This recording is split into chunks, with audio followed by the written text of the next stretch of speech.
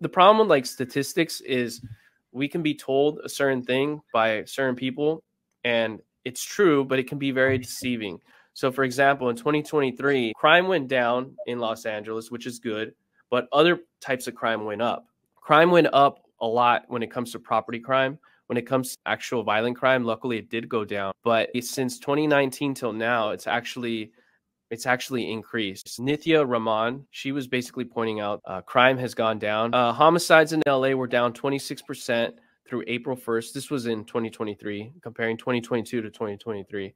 Uh, compared with the same period last year, robberies have declined 19% over the same time frame, while violent crime is down nearly 12%.